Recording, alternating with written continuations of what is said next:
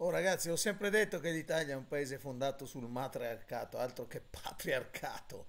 Guardate cosa dice Arianna Meloni, difende il marito Lollobrigida per la storia del treno, orgogliosa di lui per averlo fermato il treno perché aveva... non l'ho rimproverato. Cioè questo deve essere rimproverato dalla moglie, un ministro. Eh, me lo vedo già che a casa sua deve mettere le pattine, se no prende gli schiaffoni dalla moglie.